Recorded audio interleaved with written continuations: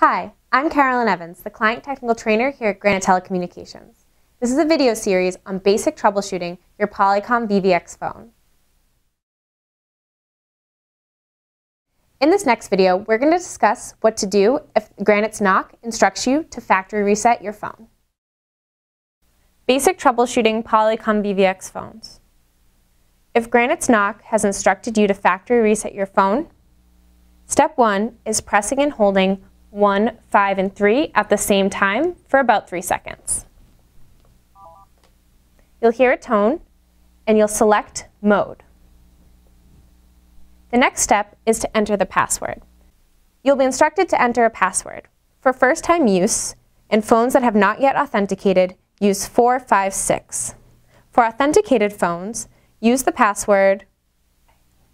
Your phone is now being factory reset.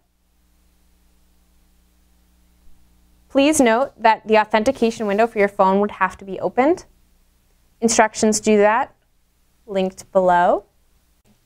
If you're still having trouble with your phone, please reach out to Granite and we'll be more than happy to assist.